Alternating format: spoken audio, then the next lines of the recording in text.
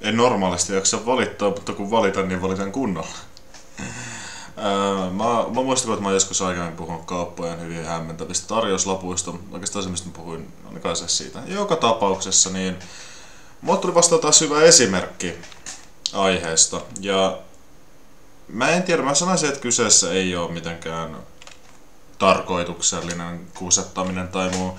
Nämä yleensä menee enemmänkin huomaamattomuuden piikkiin, mutta sitten välillä kun Asiasta pitää kuitenkin kritisoida ja kun se on jatkuvaa, niin sen takia yleensä jatkuvasti kritisoin asiasta.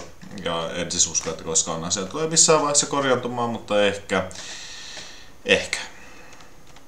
No, mä kävin Etelä-Haakan K-kaupassa ja siellä oli semmonen tarjous kuin Voisi pitää katsoa kuva, kun oli siellä kaupassa, koska hän voi peittää todistusaineistoa. No, mutta siellä oli kuitenkin sellainen tarjous, joka oli, tota, koski Marlin tuotesarjan mehuja ja se luki Marli Vital 099. Eli 0,99 euroa. Mä olisin, että kappas, Marli Vital. Hmm, mä ottaa tommosen, näyttää hyvältä tommonen sitruuna lime. Hmm. Marli Vital. Joo, kyllä se on varmaan sama mehu. Mä oon tottunut olemaan tarkka, mutta mä olin nyt vähän sillä krapulassa ja muuta, sillä väsynä ja tällaista. Sitten mä menin kassalle ja mä olisin, että tutkailtua se kuitti oli se, että hetkinen, tässä muuten ei ollut alennusta. No, sitten kassaneiden kanssa katsottiin yhdessä siitä ja oli se, että joo, eihän tässä kyllä ole alennusta. Mäpäs käyn tarkistamassa. No hän käy tarkistamassa takaisin. Joo, se on muuten palautusjuoma. Joo, okei. Okay. Ja siinä oli luultavasti oletettavasti myymällä vastaava tai joku, joku jolta hän oli kysynyt. Tai sitten joku toinen myyjä. Ja sitten toisaalta, että jaha, no haistakaa vittu sitten ja lähden pois. En siis oikeasti sano haistakaa vittu, mutta lähdin sillä fiiliksellä pois. Tässä on nyt semmonen juttu, että ensinnäkin, sulla lukee tarjouksessa Marli Vital niin varmaan aika moni henkilö näkee yllä Marli Vital. Niin on sillä, että hmm, toi on varmaan tarjouksi. Ei. Asia myöskään ei sinällään helpota kauheasti se, että siellä kyseisessä hyllyllä oli myös Marli mehuja, kuten Marli Natur tuoteperheen mehuja. Eli koskeekohan Marli Vital Marli Naturia? Hmm. No kaikki periaatteessa samantyyppisiä mehuja. Siis Marli Naturin on kai No siis se on täysmehu, mä en itsekään ole varma tästä tuo, näistä tuoteperheistä. No se on aika lailla sama mehu, mitä te olette sitten Marli noista perusmehuista, siis näistä tämmöistä purkeista. Elikkäs, miten tota, no ensinnäkin mä nyt en halua syyttää mitenkään kassatyöntekijää tästä, mutta siis oikea tapa olisi ollut, ei okei, okay, sori, tuli tämmönen virhe, mehän heti annetaan sulle tästä vähän takaisin, eikä silleen, että joo, sori, palautusmehu, me vittuu siitä. Ää, mutta tota, oikea tapa olisi ihan hoitaa tämä asia niin, että laittaa siihen, että hei, Marli Vital mehut ovat tarjouksessa, ei muuten koske näitä palautusjuomia. Kappas, olipas vaikeaa kirjoittaa tällainen tarjous. Ja mä tiedän, että monet ihmiset on sitä mieltä, että ehkä, että hei vittu idiootti, miksi sä vaan lukenut sinun palautusjuoma?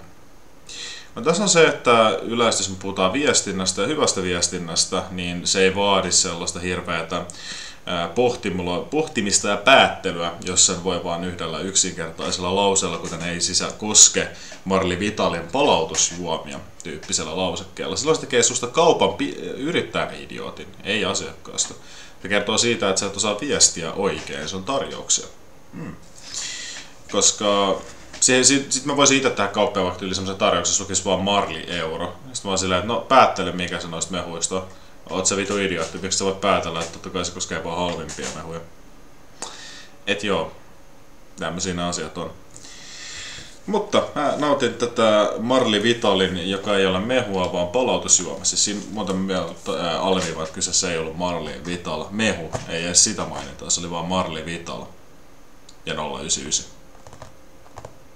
Ei Marli Vital mehu, vaan pelkkä Marli Vital jos mä nyt oikeastaan ihan filosofisesti asiaa miettisin, niin jos sä ilmoitat yläkategorian Marli Vital, ja sitten sulla on tuotteita, jotka on yläkategoria, tuoteperhe, tuotesarja, millä nimellä haluaa kutsua, joka luonnehtii itseään Marli Vitaliksi, niin ihan filosofisestikin päätellen kyseessä on Marli Vital, kategorian sisällytetty entiteetti.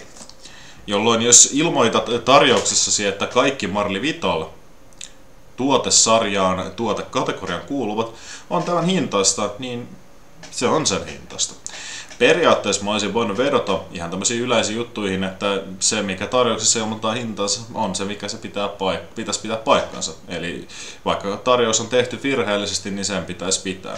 Mutta mitä tällaisia yrittäjiä voisi kiinnostaa tällaiset asiat? Ei niitä oikeasti kiinnosta. Paitsi ehkä jonkunnäköinen viestinnän damage control reklamaatioasiat, mutta se on paljon harvinaisempaa, kun kyseessä ei ole mikään iso ketju, vaan yksittäisten kauppien omistamia yrityksiä.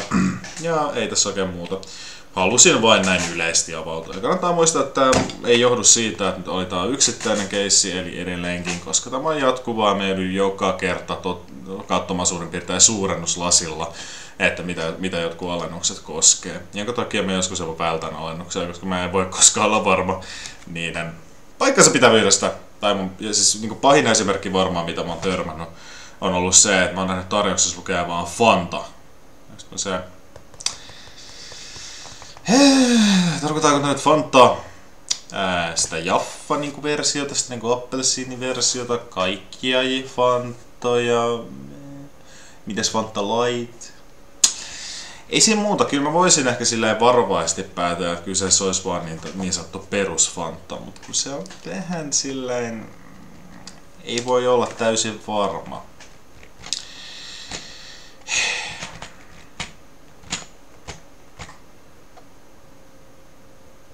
Tää oli tärkeä video, mitä mä oon tehnyt tänä vuonna. Eikä se ole mennyt kuin kaksi kuukautta. Ää, kiitoksia kaikille, jotka katsoitte tämän videon. Tämä oli ää, tärkeä julkisen palvelun viesti, public service announcement. Joo, jotain sinne päin.